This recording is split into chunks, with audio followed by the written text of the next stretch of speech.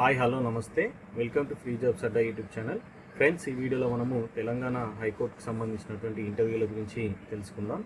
So friends already మనకి interviews అనేటివి జూలైలో జరగాల్సి ఉండే అంటే గత నెలలో జరగాల్సిన ఇంటర్వ్యూస్ అండి. అయితే కరోనా వల్ల లాక్డౌన్ వల్ల వీటిని అనేటివి పొడిగించడం జరిగింది. సో మనకి ఇవి ఆగస్ట్ ఎనిమిదవ తారీఖు నుండి మనకి ఇంటర్వ్యూస్ అనేటివి జరగడం మొదలవుతుందని షెడ్యూల్ అనేది రిలీజ్ కావడం జరిగింది. సో దీంట్లో మనకి చాలా డౌట్స్ ఉన్నాయండి. ఈ ఓరల్ ఇంటర్వ్యూలో ఎలాంటి క్వశ్చన్స్ అడుగుతారు తర్వాత ఏం చేయాలి సో అభ్యర్థులు తీసుకోవాల్సిన జాగ్రత్తలు ఏంటి వీటి కోసము ఏవైనా బుక్స్ని రిఫర్ చేయాలా అనే అంశాలు చాలామందికి డౌట్స్గా ఉన్నాయి.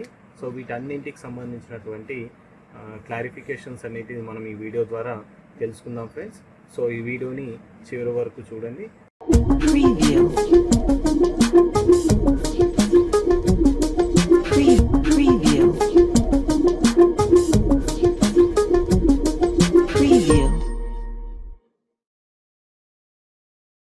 ఫ్రెండ్స్ అంశంలోకి వెళ్ళినట్లయితే తెలంగాణ కోర్ట్ జాబ్స్కి సంబంధించినటువంటి ఇంటర్వ్యూస్.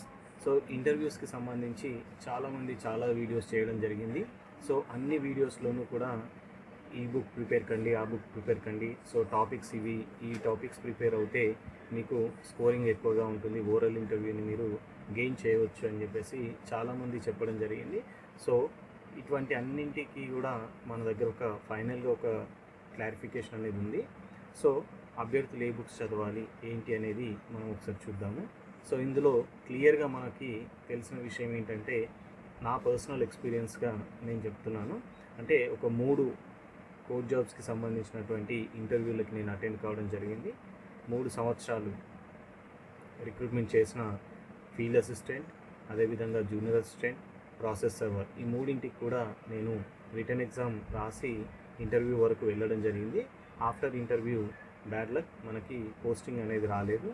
అది ఏ కారణంతోనో మనకి ఇప్పటివరకు కూడా తెలియదు సో ఇప్పుడు ముందుగా ఇక్కడ మనకి క్లియర్గా తెలుసుకోవాల్సిన అంశం ఏంటంటే ఇందులో ఇంటర్వ్యూ అని మనకు మెన్షన్ చేయలేదు. ఓన్లీ ఓరల్ ఇంటర్వ్యూ అని మెన్షన్ చేయడం జరిగింది. సో ఇంటర్వ్యూకి ఓరల్ ఇంటర్వ్యూకి డిఫరెన్స్ ఏంటి? సో ఇక్కడ ఇంటర్వ్యూ అన్నప్పుడు టెక్స్ట్ బుక్స్ లాంటివి మనం ప్రిపేర్ కావాల్సిన అవసరం ఉంటుంది. అయితే ఇక్కడ పూర్తిగా కోర్టు జాబ్స్కి పూర్తిగా వెరైటీగా ఉంటుంది. ఇక్కడ ఓన్లీ ఓరల్ ఇంటర్వ్యూ అన్నాడు కాబట్టి ఇందులో ఎలాంటి బుక్స్ ప్రిపేర్ కావాల్సిన అవసరం అనేది లేదు. ఇక్కడ మనకు ముఖ్యంగా ప్రిపేర్ కావాల్సింది ఏంటంటే మన యొక్క పర్సనల్ బయోడేటా.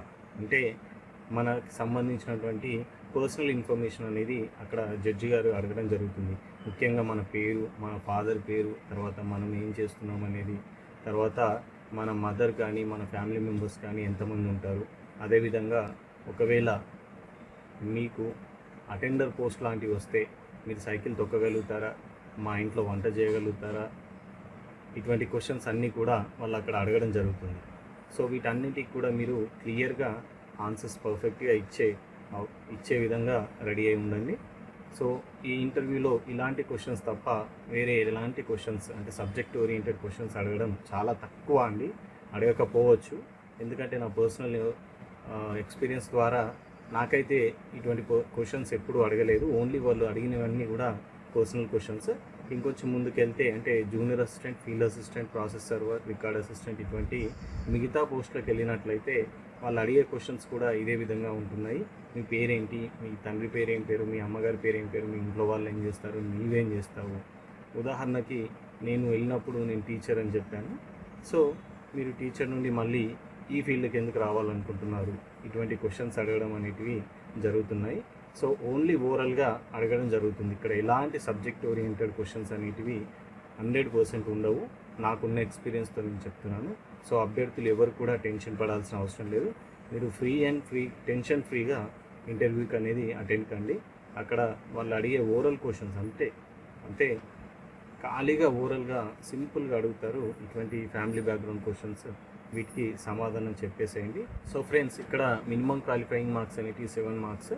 సో ఇక్కడ టోటల్గా మనకు వచ్చిన మార్క్స్కి ప్రతి అభ్యర్థికి అంటే ఇంటర్వ్యూకి అటెండ్ అయిన ప్రతి అభ్యర్థికి సెవెన్ మార్క్స్ అనేది వాళ్ళు కామన్గా కేటాయిస్తూ ఉంటారు. అంటే ఫర్ ఎగ్జాంపుల్ ఒక యాభై ఐదు మార్కులు వచ్చిన అభ్యర్థికి ఈ ఏడు మార్కులు కలిసినట్లయితే అరవై రెండు మార్క్స్ వస్తున్నాయి. కాబట్టి చాలా వరకు ఈ కాంపిటీషన్లో సీట్ జాబ్ రావడం అనేది కొంచెం కష్టంగా ఉంటుంది. సో మీరు ఫుల్ కాన్ఫిడెంట్గా ఈ ఓరల్ ఇంటర్వ్యూకి అటెండ్ కండి. ఇక్కడ ఎలాంటి సబ్జెక్ట్ ఓరియంటెడ్ క్వశ్చన్స్ అనేవి అడగడం జరగదు. సో మీరు ఫిఫ్టీ ఫైవ్ మార్క్స్ ఆ పైన తెచ్చుకున్న వాళ్ళు ఒక ఎయిటీన్ సెవెంటీన్ మార్క్స్ వచ్చే విధంగా ప్రయత్నం చేసినట్లయితే ఖచ్చితంగా ఈ జాబ్ అనేది మీ సొంతం అయిపోతుంది so friends be confident and be focused so ఈ విధంగా మీరు ఓరల్ ఇంటర్వ్యూని ఫేస్ చేయండి. మీరు ఖచ్చితంగా జాబ్తో వస్తారని నేను అనుకుంటున్నాను. So friends all the best thank you thank you for watching this